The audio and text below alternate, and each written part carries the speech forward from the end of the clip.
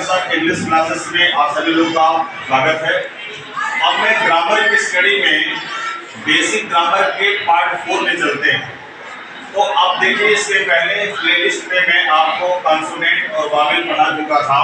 अब मैं उसके डिफिनेशन के बारे में बताने जा रहा हूँ। डिफाइन ऑफ़ वावेल स्वर व्हाट इज़ द जिस अक्षर को व्यंजन की आवश्यकता नहीं होती, यानी वह अक्षर या वह वर्ड वह लेटर जिसको कॉन्सोनेंट की आवश्यकता नहीं होती जैसे ए ई आई ओ यू इसमें किसी लेटर की किसी जो है कॉन्सोनेंट की आवश्यकता नहीं है।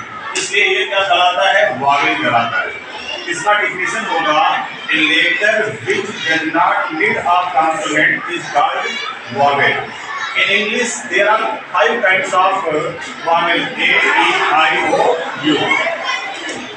Now you can say we have consonant जिस अक्षर या वर्ड को वावेद की आवश्यकता होती है उसे कंसोनेंट कहा जाता है।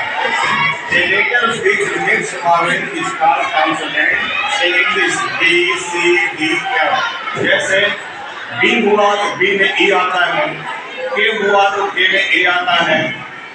उसके बाद डी है तो डी में ई आ रहा है। तो अर्थात ये बताया गया स्वर किसे कहते हैं, व्यंजन किसे कहते हैं, अर्थात वह अक्षर जिसे व्यंजन की आवश्यकता नहीं होती, वह स्वर कहलाता है, और जिसको स्वर की आवश्यकता होती है, उसको व्यंजन कहा जाता है।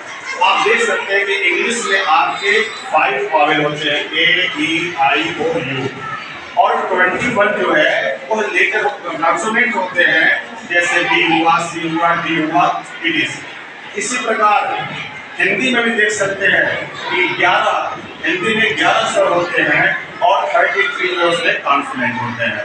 थैंक्स ओके अब इसके बाद अगली वीडियो में मैं वर्ड्स के बारे में सेंटेंस के बारे में, उसके बाद फ्रेज के बारे में चर्चा करूँगा। Thanks okay